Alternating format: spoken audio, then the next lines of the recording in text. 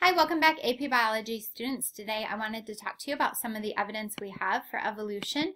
You should be able to identify examples from five separate disciplines and explain how those examples are evidence for evolution. We're also going to talk about some key terms like homologous and analogous structures, and you should be able to define those as well. So the five fields we're going to talk about is the fossil record, which is probably the one you're most familiar with, embryology, anatomical structures, biogeography, like the little wombat, why is he only found in Australia, and also what I think ultimately explains everything is the biochemical examples. So the fossil record, we know what fossils are, right? So they're remains left from organisms of the past. Usually they're hard body parts, bones, shells. They can also be imprints like this um, dragonfly fly over here. They could be worm castings, footprints, mineralized droppings. But when we look at fossils over time, we can see how one organism has changed slightly over a long period of time. So not just all at once, but over a period of time. We're pretty familiar with the relative dating of sedimentary rock. So sedimentary rock is laid down in layers, right? So it makes sense. The further down the sediments they are, they refer to the strata. The further down the strata they are, the older the rock is, and therefore the older any fossils found in that region would be. And we can date, like the Grand Canyon is a great place to date um, the different layers and we know whether they're from the Cretaceous period or the Silurian or the Devonian. And so we're able to say that this organism lived at that time. Transitional fossils are also seen in the fossil record.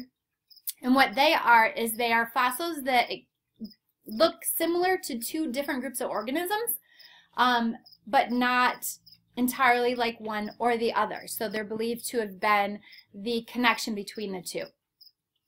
And the Archaeopteryx is probably the one that is most familiar or famous, um, and maybe because we found it a long time ago, right? So we've known about the Archaeopteryx for uh, since 1860. So this ancient bird, if you will, has similarities to the bird. It has wings and feathers, and it has similarities similarities to the reptile, its jaws, its bone structure of its face and legs. And so it's believed to be the connection between those two organisms. More recently, and therefore less familiar to us, is the Tiktaalik. And the Tiktaalik has been uh, discovered just in 2004, whereas the Archaeopteryx is from the late Jurassic period. The Tiktaalik is from the Devonian period. And the Devonian period is probably when fish would have left the water and moved onto land due to the uh, regressing seas. So the Tiktaalik resembles um, a cross between a crocodile and a fish. And so it's believed to be the missing link between the sea and the land animals. So here you can see um, the Tiktaalik, and it uh, was probably a bottom dweller. It used its fins or the beginnings of a leg um, for walking. So it has the beginnings of a wrist, lungs, and um, a robust set of ribs. And so that's believed to have been terrestrial. And then it has fins and gills like a fish. So probably the connection between swimming and walking. Another example um, that has to do with movement from water, land, land, water is the whale. So it's believed that the whale had a terrestrial ancestor and you can see through the fossil record how we've moved through time to get to the whale. And um, so whales descended from an ancestor that had four legs and walked on land, as you can see up here at the top. And um, we're going to make our way down to the ambu Locutus nadans. So this was discovered, again, this is a more recent discovery, and this would be the connection between the terrestrial and the water dwellers. So that name was given to it as it means walking whale. So there's lots of transitional fossils that have been found over time. These are just a couple examples. So you want to be able to explain how they show connection between two groups of organisms and therefore evidence of evolution. Another example has to do with the marsupials. So marsupials are only found in Australia. And they were once found in South America. And if you if you remember Pangea, the supercontinent, Australia and, North, and South America used to be connected. And then over time we had continental drift and the Pangea broke apart. And so there were probably some marsupials left on that piece of South America as it drifted away. But placental mammals that also existed in that area were out competing the marsupials in South America. And so the numbers of the marsupials began to decline because they no longer had the variation that was advantageous in that area. Anatomical evidence is another example of homology. So homology is referring to similarities. So we can look at similarities in structure. And here's where we talk about homologous and vestigial structures. So those two both explain um, common ancestry.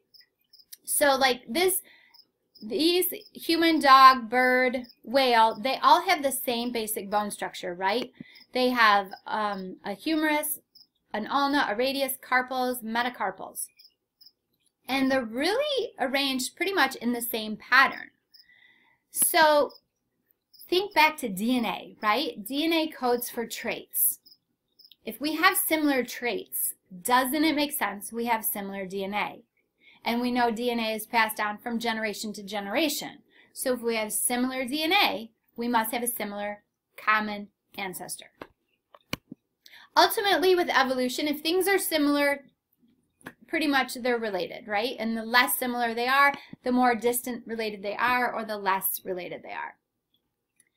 Um, so this is an example of divergent evolution. So divergent evolution, organisms start as one, and then as they adapt to their own environments, their different environmental stresses, their way of life, different adaptations become advantageous to them. And so they begin their own pathway, which is what happened with uh, the vertebrates. So we were just looking at examples of vertebrates where we have all the same um, bone structure, but we use our bones for different purposes. So flying, swimming, running, swinging from a tree even.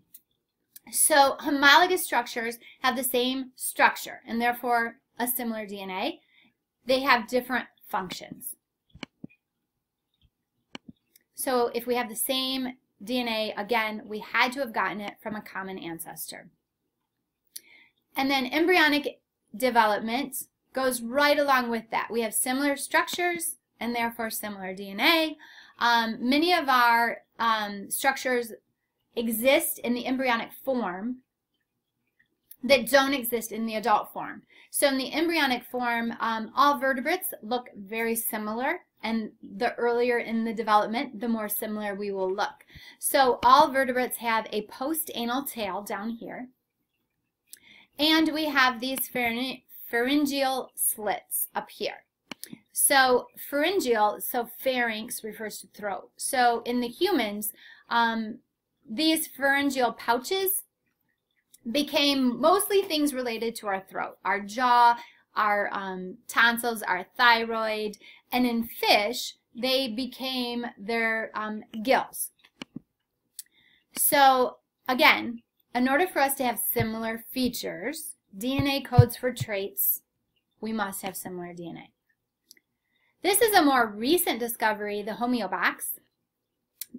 It's a set of Hox genes. And Hox genes, um, now we can get into like gene regulation, one of my favorite things. Um, Hox genes code for regulatory proteins. So they turn on genes at different points in the embryonic development. So in three stages, the first stage um, determines the cranial-caudal axis. So cranial refers to head and caudal refers to tail. So um, from top to bottom, from front to back, however you want to look at it, from head to tail, it determines what's the front, what's the back. And then during the second stage, it uh, segments the body. So you can see segmentation both here and here, and the color code that identifies um, how each of these segments are determined. So it's determining the thorax, the abdomen, um, the tail region. So we all share this common Hox gene, which means we share a common ancestor. Now what's different between us is the number of Hox genes that we have in common. So this is showing you three common genes that exist between Drosophila, the fruit fly, and the mouse and the human. So at this stage you can't tell the difference between a mouse and a human. Vestigial structures give another example of descent from a common ancestor. So vestigial structures are structures that have decreased in size due to disuse. We'll look at this example of two different uh, species of snakes. So this is a very old snake from the Cretaceous period, and this is a python. So here you can see a hind leg in this fossil of the snake. And over here, you can see, especially if you zoom in, little tiny nubbins of a leg that are found in the python. So that would be an example of a vestigial structure. Perhaps back in the Cretaceous period, that leg had a purpose. And now we know today that pythons don't have legs, they don't walk, um, so it doesn't have a purpose, so it's been decreased in size. More common examples of uh, the vestigial structure is the kiwi's wings.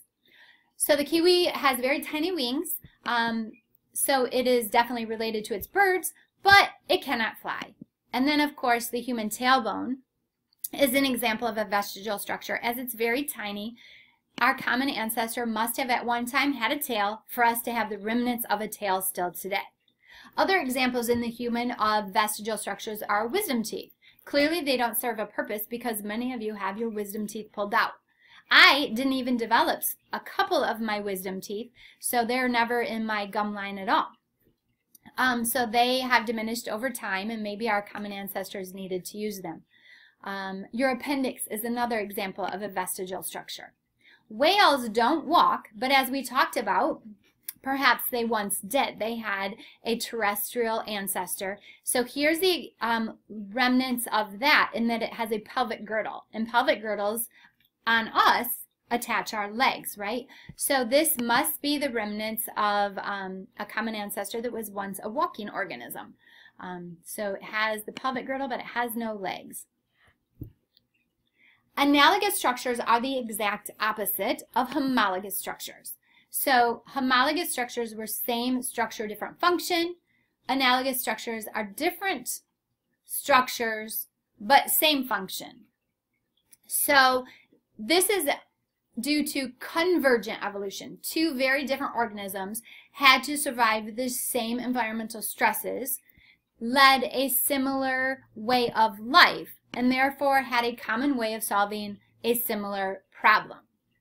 So the wings on the insect and the wings on the bird, for example, very similar in appearance. On the outside, they look the same, but on the inside, we know insects do not have bones, right? So they clearly don't have the same structure. Another example of an analogous structure is the fin of the shark and the fin of the dolphin. So the shark is a cartilaginous fish and the dolphin is a mammal, clearly not related. Inside, their structures are a little similar and they do serve the same purpose. Um, but the, you can tell the orientation and, and arrangement of these structures is very different inside. So they look similar on the outside, but very different on the inside. The opposite of homologous structures, like these two wings over here, they have the same bone structure, so they're homologous. And these two fins over here, again, have the same pattern, the same arrangement of those bones, so those two are homologous. So they would be related. Like I said, it all comes down to the biochemical evidence. We all have DNA, RNA, and ATP. DNA contains genes. Genes code for proteins. Proteins are expressed as traits. The more similar our traits are, the more common our DNA must be. The genetic code is universal. We all have the same four A, T, C, and G bases. They are copied, transcribed, translated into the same 20 amino acids in every species. That explains why we're able to take genes from one organism, insert them into another, and that organism is made to express the genes. since DNA is universal, we're able to look at the sequence of DNA in different proteins to determine how closely related two organisms are, or how recent they share a common ancestor. So cytochrome C is one of the uh, proteins we commonly use because it has been highly conserved through evolutionary time. Cytochrome C, if you remember, is part of the cellular respiration electron transport chain. All aerobic organisms use it to make ATP. We use ATP for energy for all our cellular processes. So doesn't it make sense that this is a protein that all organisms would need? So I can look at how similar our genetic code is. So over here, um, these are all comparing cytochrome C of different organisms to the human. So how different are they? So the chimpanzee has no differences whatsoever in its genetic code for cytochrome C as the human. They are identical. So we share a very recent common ancestor. The rhesus monkey, we're a little more distant to them because they have one difference. If I continue down, I can see nine differences between us and the rabbit and 37 differences between us and wheat germ. So we don't have as close a degree of kinship, how closely related we are, to the wheat germ as we do to the rabbit, which definitely makes sense since the rabbit is not only a vertebrate but also a mammal. So we already know that we're related to them.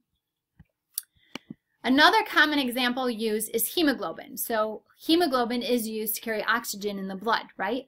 So again, we use oxygen for cellular respiration and therefore to make ATP and energy. So it once again makes sense that we all need hemoglobin in one form or the other. So again, looking at the number of differences, uh, there's one difference between the human and the gorilla. There's eight differences between the human and the rhesus monkey. So whereas we only had one difference in the cytochrome C, we have eight differences in our hemoglobin. So that tells us we have a more recent ancestor with the gorilla than we do with the rhesus monkey. And you can continue on all the way down to the soybean. So the less differences that are exhibited, the more closely related two organisms are.